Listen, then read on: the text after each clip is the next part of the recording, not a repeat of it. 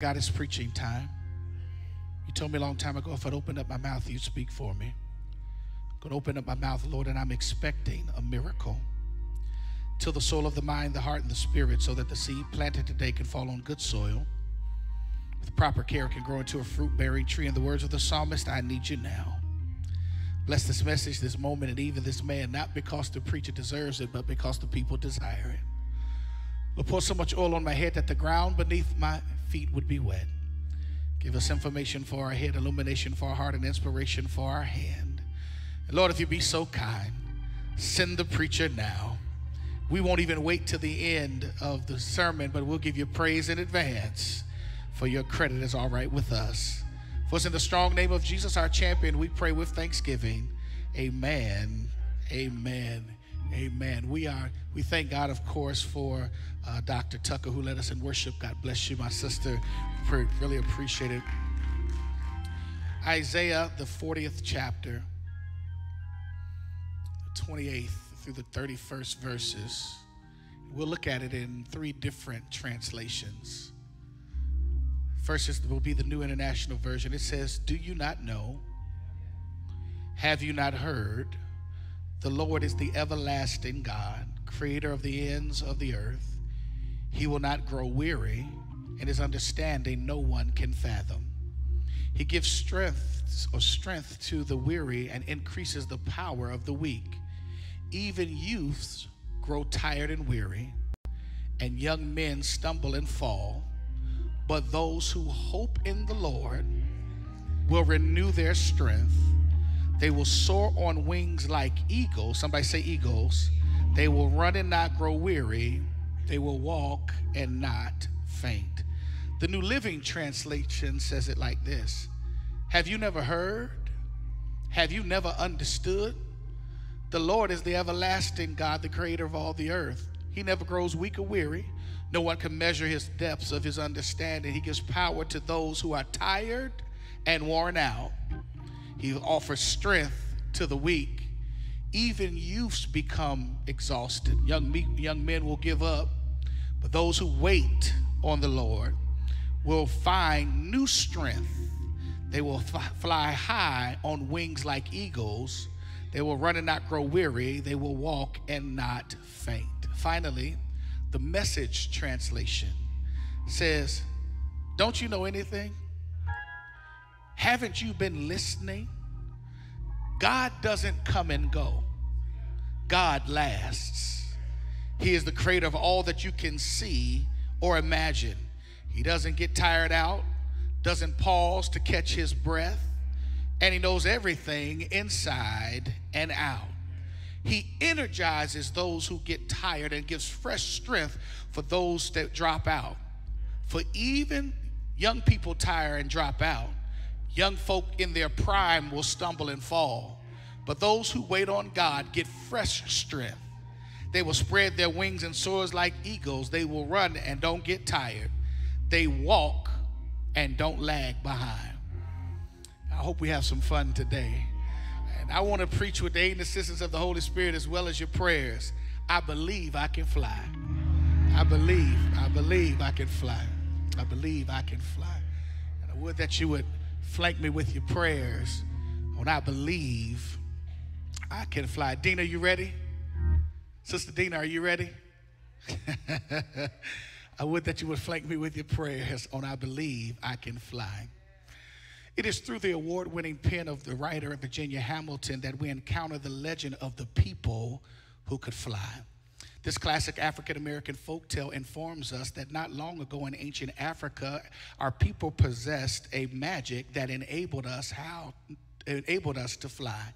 However, when we were brought to this American landscape as slaves, somehow, some way, and somewhere, we forgot the magic. I mean, the magic that was ours in our original locale was somehow now, for some reason, rendered null and void here in America.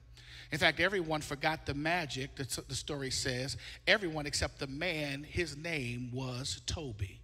See, Toby was the seer. He was the man full of wisdom. He was the official storyteller of the people. They called him Old Preacher, if you will. He was the one that knew the oral history of the people. It was his job to make sure he reminded the people from whence they had come and keep them on the right track. It, I mean, it was not his job to look at where they were, but it was his job to remind them who they were. It was his job, it was not his job to do things they agreed with. It was his job to lead them to new levels of understanding and knowledge. Not his job to make them feel good, but it was his job to make them better. And again, I say it was not his job to be concerned with where they were, but it was his job to be concerned with who they were. Because you do know sometimes things can get so bad that in where you are, that you got to remember who you are. Things can mess you up where you are, and every once in a while you have to say, remember who you are, because sometimes you have to remember that it is your content that will inform your context.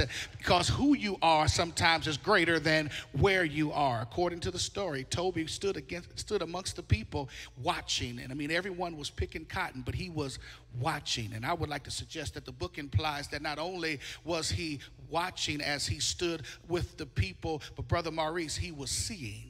He was just not looking or watching, but he was seeing. He was seeing the condition of the people who used to take flight, who are now subjugated to the whistles and whips of their oppressors. He saw the struggle. He saw their plight. He saw the men and the boys being stereotyped, typecast, set up, upset, imprisoned, enslaved, and even killed. He saw women and girls being let down, knocked up, turned out, downturned, impregnated, and abandoned. He saw communities laying in waste, saw un and underemployment. He saw unfair wages. He saw unfair lending practices. He saw, he saw, he saw checking the cash places. He saw all of this thing. Then he saw the, even the church struggling. The church that used to be the center of community, a haven of rest for weary souls. The church that used to be relevant, now rendered trapped by tradition, paralyzed by protocol, and traumatized by the fear of its inability to catch 2,022 fish with 1979 bait. Toby, I believe, saw the plight of the people, saw the plight of the community, saw the plight of the church. But not only did he see them, they saw him standing amongst them. They were desperately waiting for him to do or say something anything. For the story says that Sarah, a woman who was picking cotton after her being beaten by the overseer at the order of the master, told Toby, Oh, preacher, I can't take this anymore.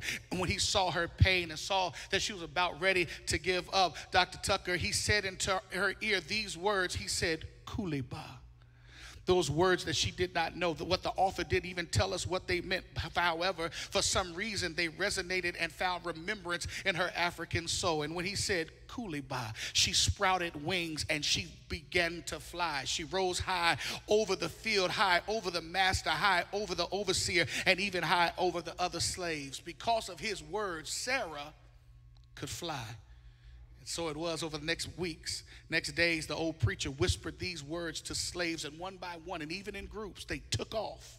They took flight. They left their oppression behind, and they began to realize the greatness that they were divinely designed and cosmically created to achieve because of his words as they took off. But the master and overseer were also watching, and they were also seeing. Notice that, that it was at the word of Toby that the people took took, um, took flight. It was at the words that came out of his mouth that the, of the seer that freedom was achieved. It was something in the words of that old preacher that set people free. Something in his lyric and in his rhetoric that produced liberation and produced release. And when the master saw this, there was simply one thing for him to do.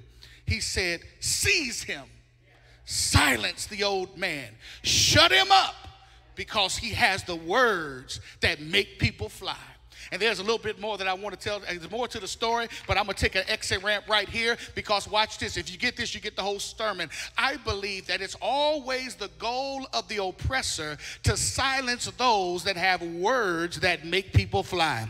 I mean, I don't speak words of liberation, don't speak words of power to the marginalized. People don't don't preach. Don't preach to people words that give power to the oppressed, depressed, and suppressed. Don't speak to truth that leads to the fine finding, helping, or liberation of the lost, the last, and the least, you must be silenced. You must be discounted. Your reputation must be ruined. You must be in prison, or you must even be killed. I mean, think about it. That Marcus Garvey and his Back to Africa movement, Martin Luther King, who had a dream, Medgar Evers and his civil rights rhetoric, Mandela, who said apartheid was wrong, Malcolm X, who said by enemies necessary. One of my mentors, Dr. Jeremiah Wright, when he said the opposite of God bless America, when now some 20 years later we know he was right. Uh, what happened? What about the resolve of Rosa Parks, the courage of Coretta Scott King, and the hang-in spirit of Harriet Tubman, the stay-in power of Sojourner Truth? Moses even said, "Let my people go,"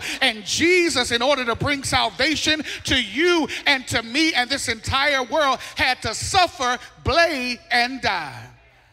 Those men and women have proclaimed prophetic words, and they had to suffer due to their ability to speak truths that set people free because it's a powerful and dangerous thing to speak words that cause people to fly. If you don't believe me, just ask Isaiah. You remember Isaiah, don't you? Isaiah is what Dr. Bill Curtis calls the undisputed heavyweight champion of the written prophetic world. And here he is speaking to a people that are about ready to give up. During his writing career, of course, he has he has spoken both to people under the threat of Assyrian oppression, and now they are taken captive by Babylon. And here in the 40th chapter, as we enter into this part of the book, it's called Deutero Isaiah. I'm just trying to show you, I went to school somewhere. It's Deutero Isaiah, which means the second Isaiah, the voice of Isaiah. He takes another tone. In fact, historically, the Bible, uh, Isaiah is said to be split up into three parts. However, new studies are saying that it's split up into two parts. Either way, this is the second part. And as a result, he is he is talking to the people and offering them comfort to a people that have been in Babylonian exile. They are weary and they want to quit. But it's Isaiah who, even during negativity, is reminding the people of God, watch this, Elder Winston, that God never relaxes and God never goes to sleep. Y'all not shouting yet. Even when his people think he's forgot about them, even when it seems like all is lost, even when you think things can't possibly get worse, even when you think God has lost you on God's GPS radar system, you are, even though you're tired, you want to quit and you want to throw in the towel, God is still watching. In fact, Isaiah encouraged the people by saying, God is always watching over God's people. And that's a good place to out right there that God is always watching over God's people. Even when it seems like you in the middle of night and darkness is all accomplished, all about you, you have to realize, Brother Stint, you serve a God that can see you even in the dark. Oh, y'all not shouting yet? Okay, okay, uh, let me see if I can help you. See if I can help you. I said we serve a God that can see you in the dark. I used to have a dog. His name was Legend. He was a bull mastiff about 200 pounds. I loved, I loved him, but I couldn't walk him during the day because folk could be scared of him and want to run. So at night, I'd go out outside. Now I was out night one time. I was out there with Legend, beautiful dog. We're sitting in there. We're out in the in the, in the grass, so it's dark where I, I was. My daughter Taylor Imani comes out, and she's in the garage. There's a light in the garage, and she stands at the edge of the light and says, "Daddy, are you out there?" I said, "Yeah, baby, I'm right here. Can you see me?" I said, I can see you, you're right there. She said, Well, why can't I see you? I said, Because my eyes have adjusted to the dark which means I can see you, and even though you can't see me. She said, Well, Daddy, can I come out there? I said, Yeah, you can come out here. She says, Yeah, but I can't see you. I said, Well, follow my voice until you bump into me. Come here. Has anybody been at the edge of your light situation and say, Daddy, are you out there? How can you see me and I can't see you? The reason God can see you is because God's eyes have already adjusted. Now you're in the light. God has gone uh, forward into your dark places and is able to say to you, Keep coming until you bump into me. Is there anybody's testimony today that I've been in some dark situations where my eyes couldn't do it, but I thank God that I walked by faith and not by sight, and I bumped into God because I followed God's voice until I bumped into Him. Yeah. God can see me in the dark, but if we're honest about ourselves, some of us can't shout on that because it's not that we that that that um, that we don't want to shout. We probably need a shout. It's been a long time since we shouted. But we can't because when it comes, because when we try to shout, the only thing that comes out is negativity. The only thing that comes out is complaints, and it's frustrating because usually you're not this mean. But you try to shout, but it doesn't come out. Or some of us are mean every day. But for most of us, we're not mean all the time. We, it's just, it just mean can show up. Can I suggest? It's gonna mess you up. That mean people in your family, at your job, even at your church that are unpleasant and unfair to others, talk about others, don't extend grace to each other, it's not because they're flawed or evil. Watch this. It's simply because they're tired and need strength.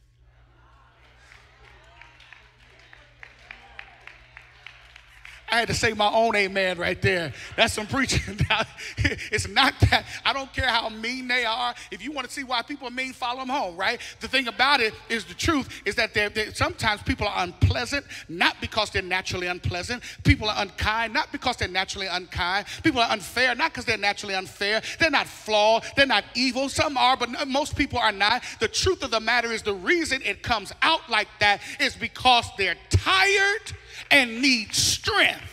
I want to suggest that the people that are mean to you and the people that are mean to me, that talk about you and talk about me, and you know who they are, so don't blink your eyes too much because you might be sitting next to them. They, some of them are here today. They are mean, they are unpleasant, not because they're existentially flawed, they're simply, they are fatigued and tired beyond their own rescue.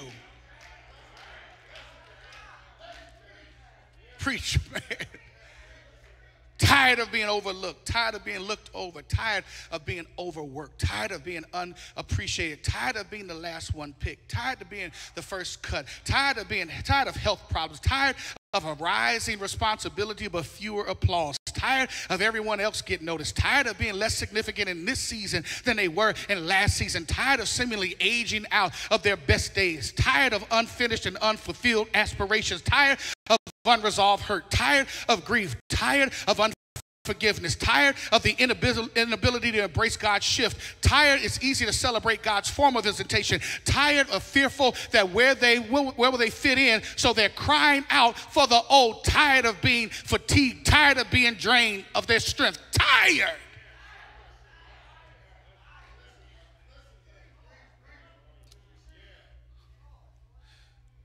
They're ready to quit so they become unpleasant. But here's the help. Here's the help. Because this is when we pull into the parking lot of the passage. Isaiah begins to address the people. In fact, he addresses it at the beginning with comfort ye my people. The beginning of the 40th verse. But when we get here, Isaiah begins to address the people in the text as well as any of us who've ever been tired, just about to give up. He's picking it up in the end of the 28th verse. He says, Have you not heard?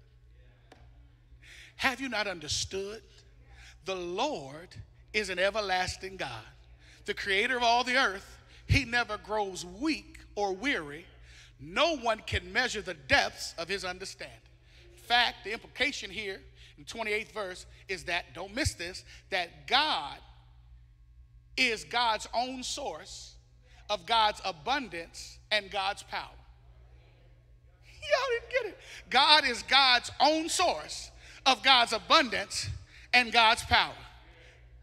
Hudson, they're not shouting. God is God's own source of God's own abundance of God's power. Here it is, Elder Walls. The reason we're not shouting is because we're not used to sources, we're used to resources.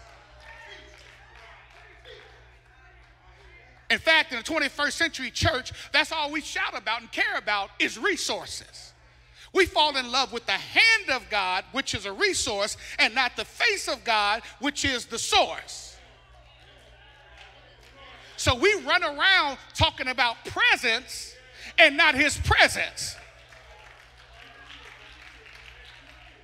We want to shout over cash. We want to shout over cameras. We want to shout over cribs. We want to shout over clothes. Presents of my hand. But if you want the real presence, then seek my face.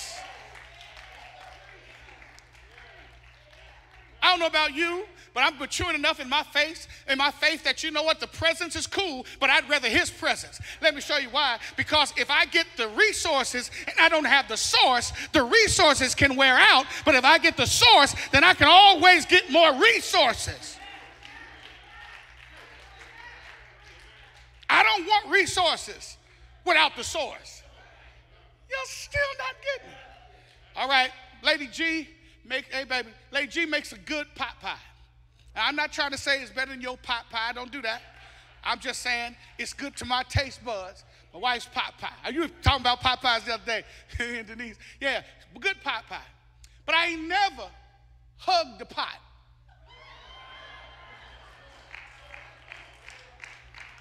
I never snuggled up to the pan. Because if I snuggle up to the pan, the pan is going to wear out. But oh, if I snuggle up to the cook, if I whisper sweet nothings to the cook, when my pot pie run out, I can talk to the cook to get me some more pot pie. Can I help you real quick? Is there anybody in here that says, I like my house, I like my car, I like my family, but those are resources. I need to get in the face of the source and say, Hey, boo, I bless your name. I give you glory because when my stuff runs out, if I'm in love with the source, I can get more stuff. Yeah.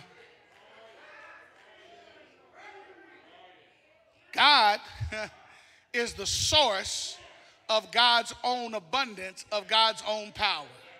It started with God. That doesn't say how much power God has, but the implication between verse 28 and 29 is that God has unlimited source of power because he has enough to spare. God doesn't have enough power that God has to keep it to God's self. God has enough power that God can share and still, Dorinda, have the same godness that God had before God shared. That's why Sister Carla, we don't do testimony service like we used to do testimony service. You remember back in the day, you do testimony service some Friday nights or sometimes at the fish fry, you do uh, testimony service. Now, the reason we used to do testimony service is because we were a community organization back then. Back in the church, Dr. Hicks, that you grew up in, everybody knew everybody. Everybody looked out for everybody. In fact, our songs were community songs. We'll understand it better by and by. Not you, we'll understand it. Uh, we, we come this far by faith. Not you, we.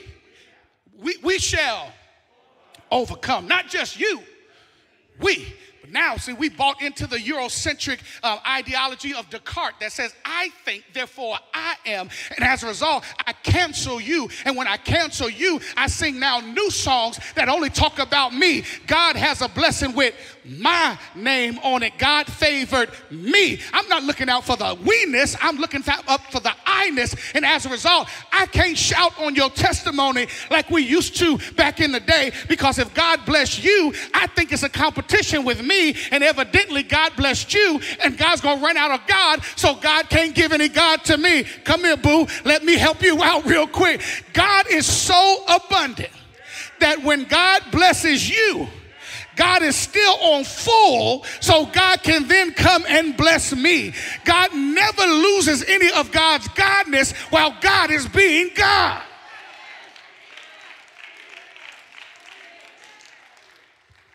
I don't have to hate on you.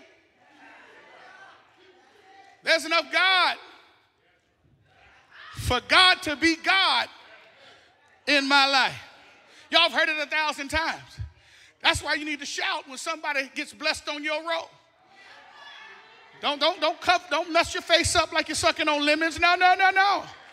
You need to get excited because you got two reasons to shout, McSwain. If God bless somebody on your road, number one, he's still in the blessing business. Can't nobody shout on he's still in the blessing business. The other reason you need to go ahead and shout is because not only is in the blessing business, but he's in the neighborhood. And since he's in the neighborhood, before long, he gonna get on your road, gonna get in your seat. It's gonna be your time and your turn. I'm looking for somebody that came up, came in here today to say, God, any way you bless me, I'll, I'll be satisfied.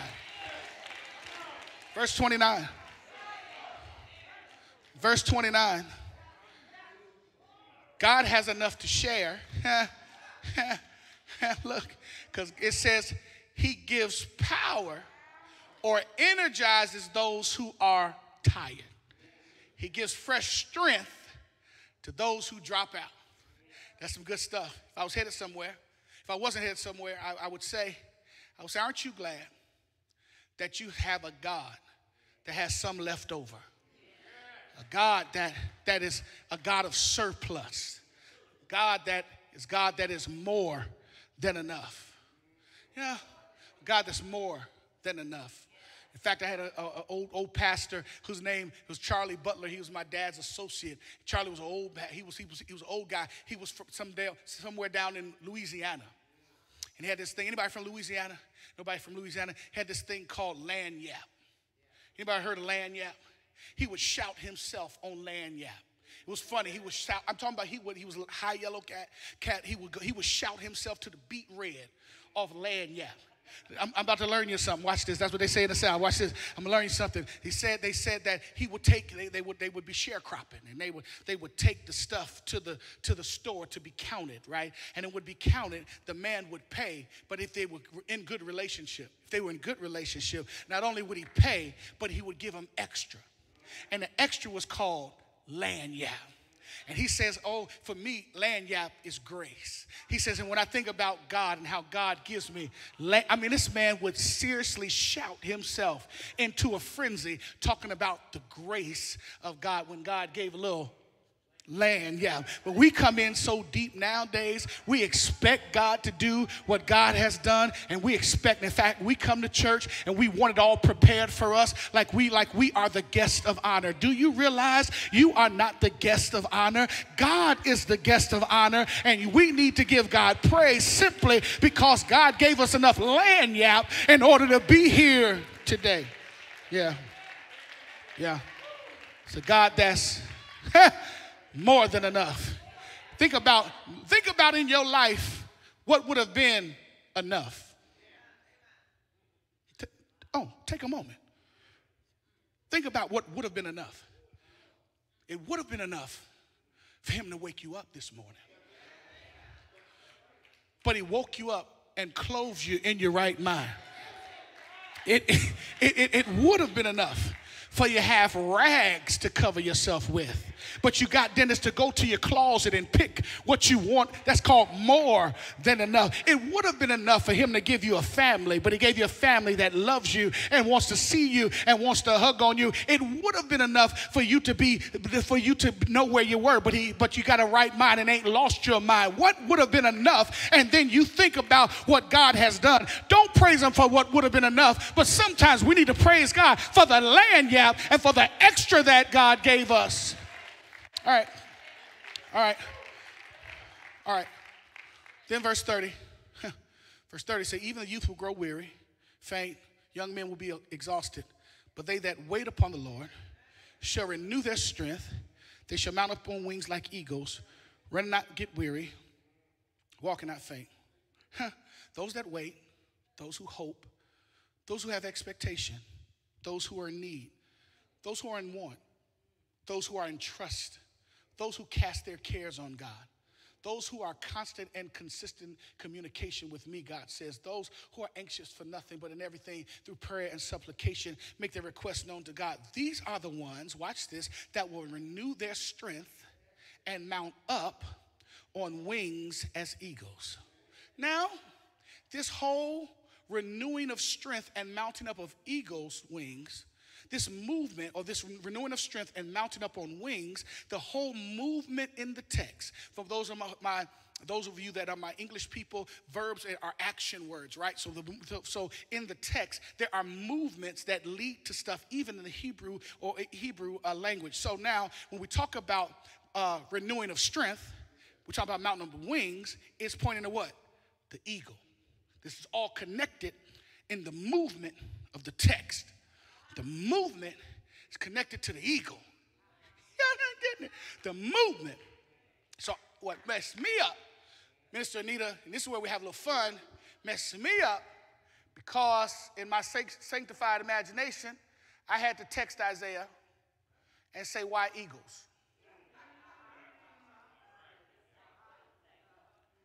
He said, Well, preacher, I've been in church a long time, and I realized the church full of birds.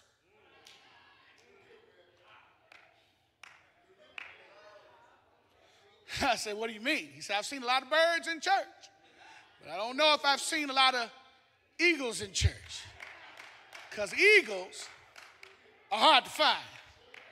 I said, Isaiah, I'm missing it.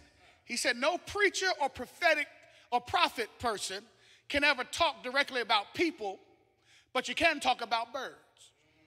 And sometimes there's a message in the birds. I said, Wow. You know, the reason I said wow is because this is the impetus of the brilliant, uh, brilliant artist that I ran into the other day at the Smithsonian Museum of African American History. As I encountered the amazing work of Rashaun Rucker.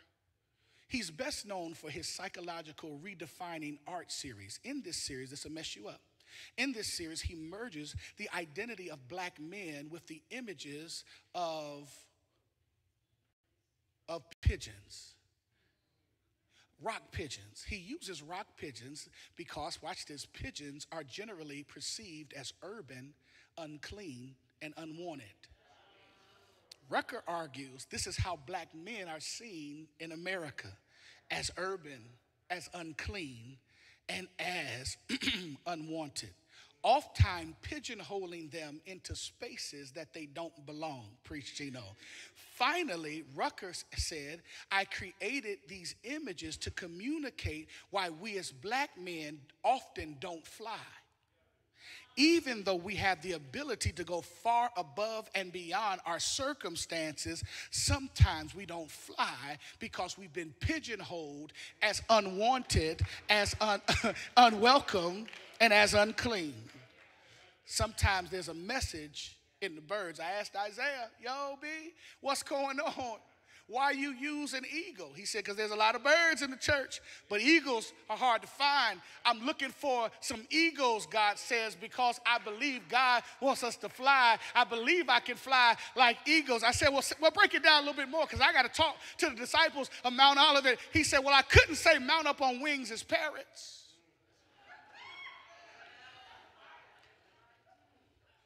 I said, help me out.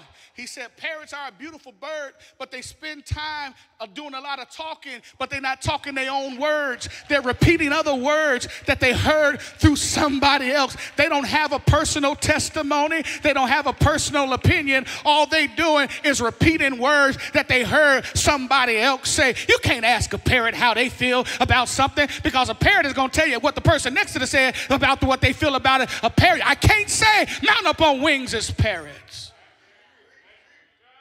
Whoa, I hear you. He said, I couldn't say mount up on wings as peacocks. No. I said, man, you ain't seen a peacock. He said, I have seen a peacock. A peacock is also beautiful, but a peacock is too busy strutting and, and trying to be seen and always trying to be the center of attention and always trying to, to flaunt their feathers and not having time to look at somebody else's feathers. Oh, I can't say peacock. I said, Well, what about the hawk? And hawk is a bad bird. Hawk is a bad bird. He said, Yeah, hawk, hawk has keen eyes. I said, I mean, that, got, they got, that means they got good vision. He said, No, no, not necessarily, because hawks use their vision to find the flaw in somebody else. The hawk is the one that's always trying to prey on somebody else's flaws. The hawk is the one that's going to talk about every mistake the choir makes, every time the preacher does something wrong. The hawk is the proofreader of the bulletin that's going to be mad that they name ain't in the I can't say hawks.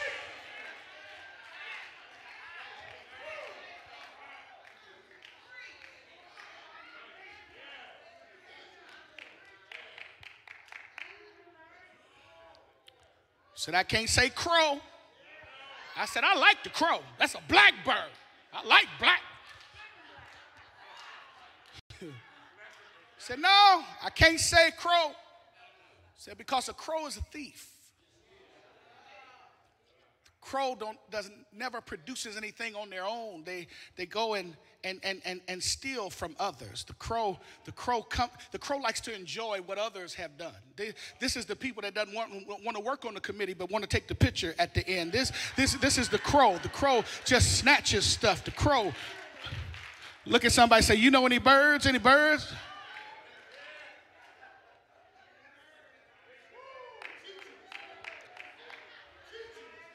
Said, Isaiah, why? Why the eagle? So I couldn't say the vulture. Couldn't say the vulture. The vulture enjoys blood. I couldn't say the vulture. The vulture chooses dead things over living things. I couldn't say the vulture. The vulture feeds off stuff that should have been dead a long time ago. The vulture. Vulture lives off stuff that other people let die. The vulture. I said, I think I got you, man. Bless you, chap. I think I got you, man. I think I got you, Isaiah. What about the swan? What about the swan? Huh? Got you, dog. The swan. What about it? Isaiah said, beautiful bird. Nice try, G.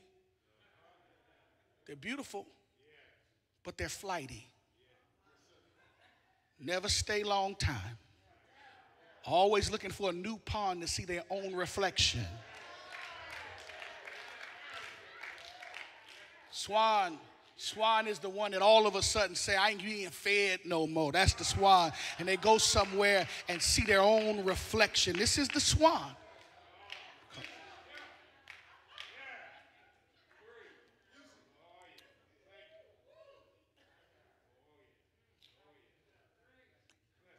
Said, okay. Isaiah, you got me, man. Then tell me why eagle. He said, I picked the eagle for two, two reasons and, and I'm on my way out. I promise I'm done. I picked the eagle, eagle, eagle for two reasons. Number one is that the eagle knows how to renew its own strength. Y'all not getting Y'all not getting it. The eagle knows how to renew its own strength. Can I help you? See, when eagles get old and they get tired, they and they, their feathers get ruffled, after a while, the eagle goes through what is called a molting process. The molting process is when their, their wings begin to shed and they begin to be replaced with stronger and newer and fuller and fuller wings. The, they, the wings are renewing the eagle's strength. Watch this. And the crazy thing about it, some of us are eagles and we're going through a molting process, right? And the problem about molting, don't shout yet. The problem with molting is this, is that it's an ugly process because you got some of the old left and you got some of the new coming and you look ugly. It's like when you're trying to grow natural hair, ladies, and you want to cover it up because it's that new growth doesn't look too good. You know what the picture looks like. You know what you want to look like, but you ain't there yet. And you get frustrated because I got a little ugliness on the wings, but the other wings are growing. But if you keep going through a molting process, you'll be able to renew your strength.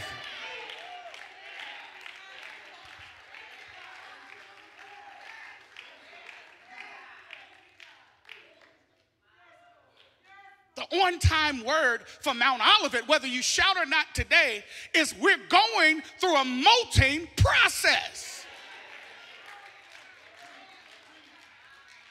It's uncomfortable sometimes.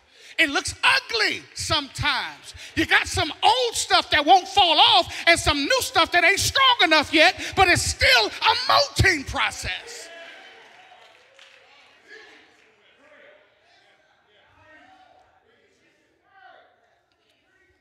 But if you keep going, newer wings. I feel like it. I felt that. Newer wings and stronger wings and fuller wings will grow.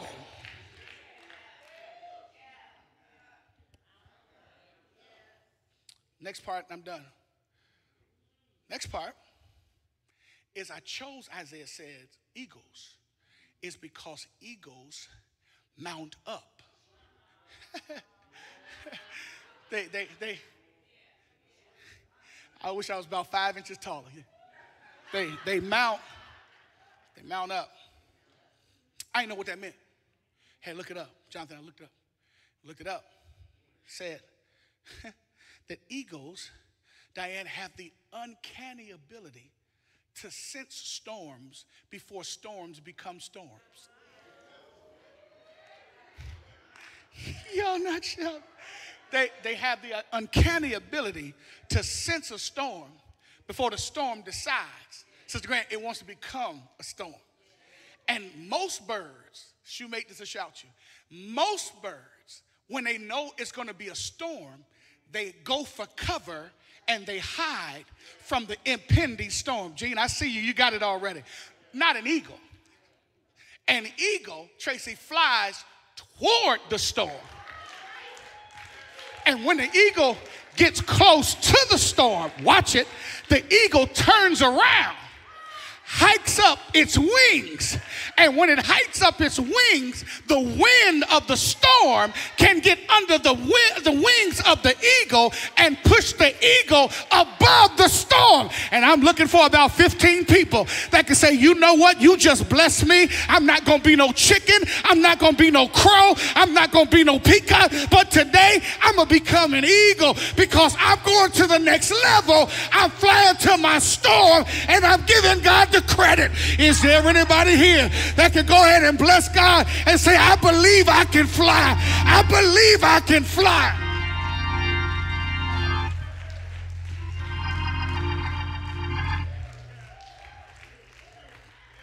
Mount Olivet, I'm standing here today simply say to you prophetically, it's time to fly. Cooliba. it's time to fly. It's time to fly. I know we're going through molting. I know we get tired. I know we get frustrated. I know there's some new stuff. I know it's growing pains, all of that stuff. But Cooliba, it's time to fly. I know you're tired. Let God renew your strength. It's time to fly.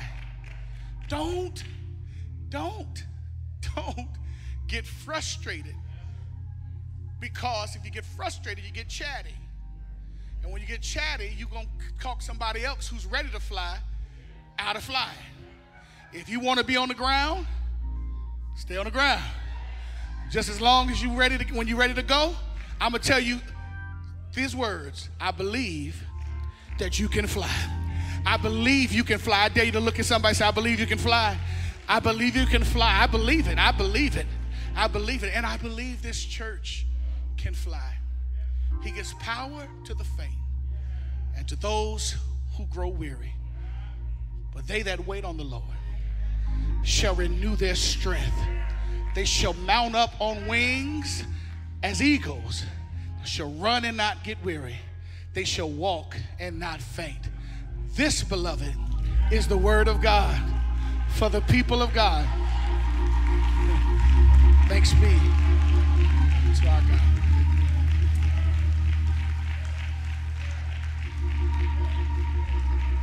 Standing all over the building if you can, if you can, if you're able, stand all over the building.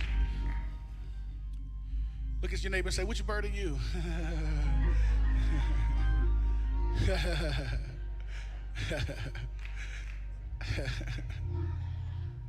Doors of the church are open.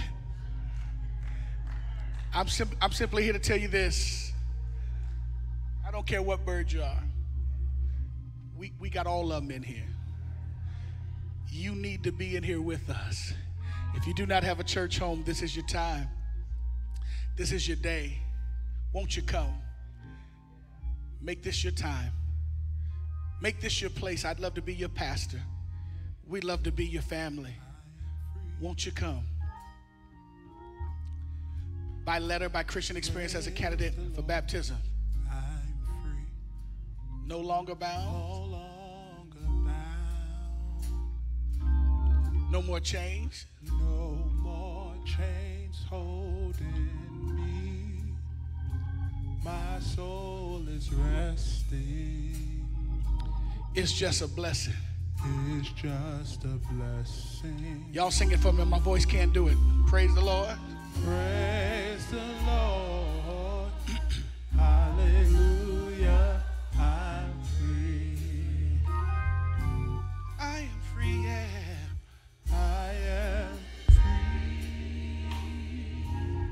Praise the Lord.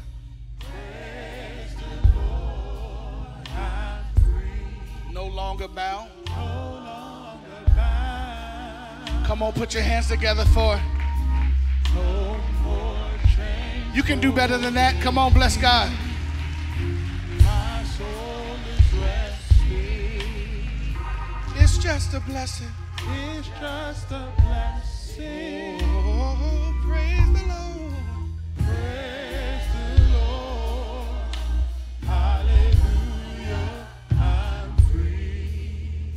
Do it one more time. I'm free, I'm free, I'm free. I am free. Praise the Lord. I'm free. No longer bound. No longer bound. no more chains. No more chains holding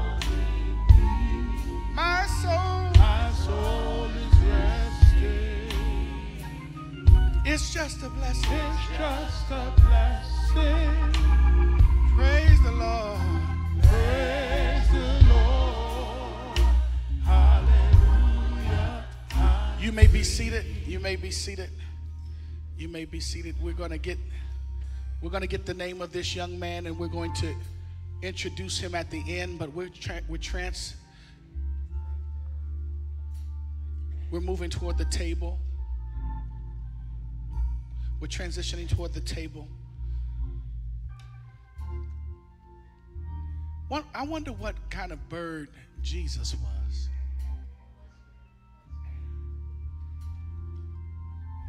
ready to quit in the garden.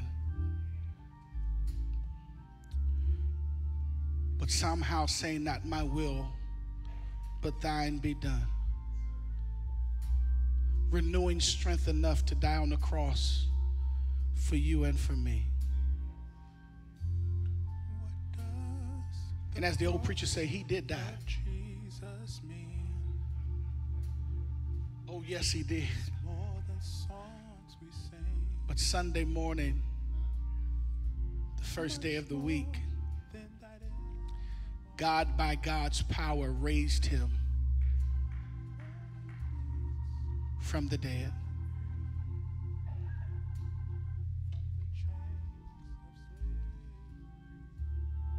And we're here to celebrate. I taught of this in Bible study on Tuesday. I told the people, I told the people of Dr. John Paul Feinberg, who was my teacher, my master's degree. He shared with us the power of the table. He says it's the genius of our Lord that He would use something as common as eating and drinking for us to remember the greatest sacrifice of all time. No matter how rich you are, how poor you are, you have to eat and drink. No matter what language or hue of skin, eating and drinking. Feinberg says every table on earth fits as a jigsaw puzzle to another table. So the people in the Pacific that celebrated it this morning, the people on the other side of the world that will celebrate it this tonight, and even the table at Mount Olivet, all fits as patches of a quilt to come together as one family. One family that celebrates this gift together.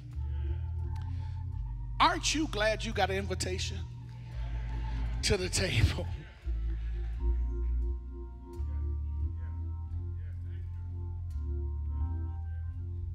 What does the cross of Jesus mean?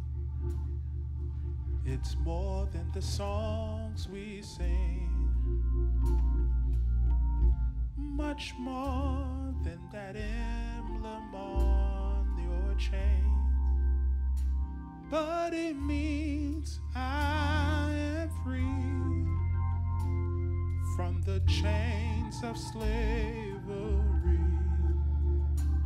and the blood that's shed won't let my sins remain.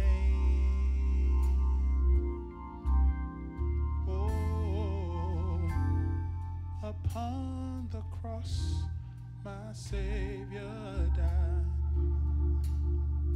The Lamb was crucified. showed us love that this world may never know. Oh, what love so divine. True love you'll never So that we might live, love came and died alone. If you do not know that song, go back and get it. That's Donnie McClurkin. It's one of my favorite songs ever. So simple. Tells what God did for us through Jesus Christ on the cross. We are admonished not to come to this table unworthy, admonished that we would confess our sins before our God and before each other so that we do not cause, the Bible says in the King James, damnation unto our souls.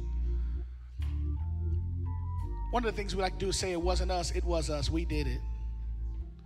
But it's okay because the blood cleanses it. So we need to confess. We have a litany that we read and recite each, each first Sunday as we celebrate. So let's recite the litany together. Eternal and merciful God, we humbly confess before you and each other that we have been unfaithful to you. We lack love for our neighbors. We waste opportunities to do good.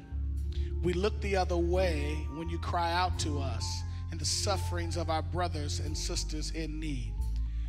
We are sincerely sorry for our sins, both those we commit deliberately and those that we allow to overtake us. We ask for your forgiveness and pray for strength that we might follow in your way and love all your people with the perfect love that casts out all fear. Through Jesus Christ, our Redeemer. Amen and amen. I say it all the time. I've been here a year and a half now, so you know what I'm about to say next. If you're like me, all your stuff wasn't up there. As a result, let's take a moment of silence that we might be able to confess our sins to our Maker.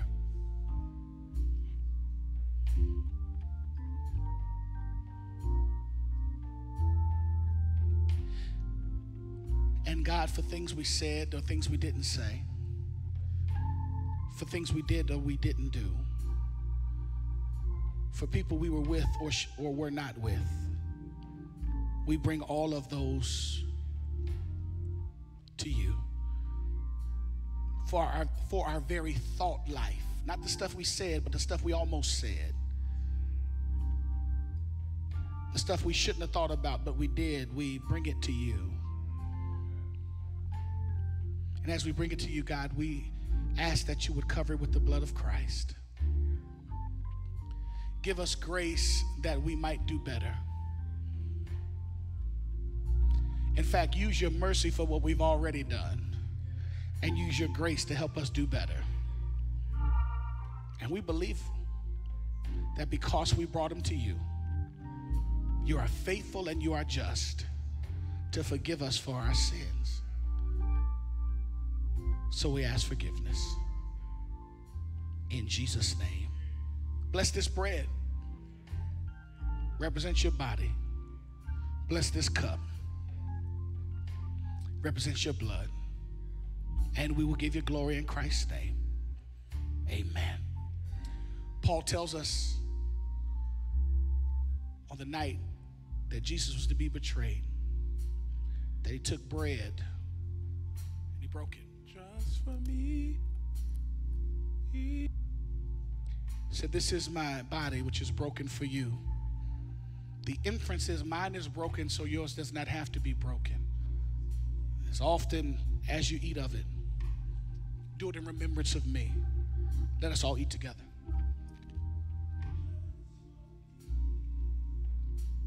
Likewise, he took a cup.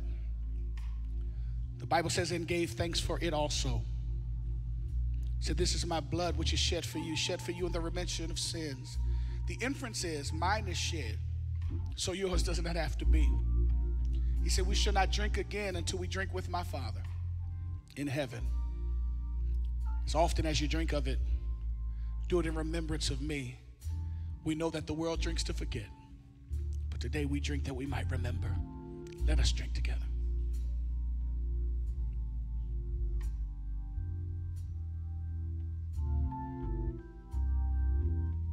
Bible says that they sang a hymn and went to Mount Olivet. Let us in Mount Olivet say the prayer that the Lord left us to be on one accord. Our Father, which art in heaven, hallowed be thy name. Thy kingdom come, thy will be done on earth as it is in heaven. Give us this day our daily bread and forgive us our debts as we forgive our debtors. And lead us not into temptation, but deliver us from evil. For thine is the kingdom and the power and the glory forever and ever. Amen. Share a sign of peace with your neighbor, sign of peace with your neighbor. Let us won't you come come introduce.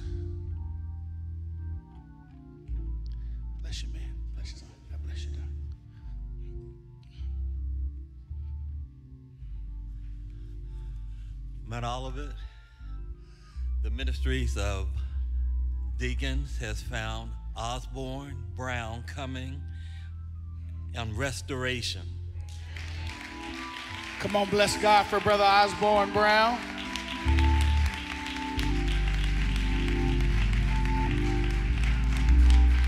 As we're standing all over the building, I love you. There's nothing you can do about it. Thank you for allowing me to be your pastor. Thank you for allowing me to be me, as crazy as that can be sometimes. Thank you for loving my beautiful wife and our entire family. Now, beloved of God, look here and receive the benediction. I speak life to you. Pray no bad thing would come nigh thee. Pray that God will bless your going ins and your coming outs, that God will give you peace in your labor and in your leisure. That God would order your steps and your stops, that by his grace he will provide for you. By his mercy he will prevent from you. That because God loves you, he'll say yes to you. And simply because God loves you, sometimes God will say no to you. That no matter which bird you be today, that God will elevate you, renew your strength, and allow you to mount up on wings as eagles. Until we meet again, go in peace. And may the peace of God go with you in Christ Jesus. Amen. Come on, let's sing this together before we leave. Praise God.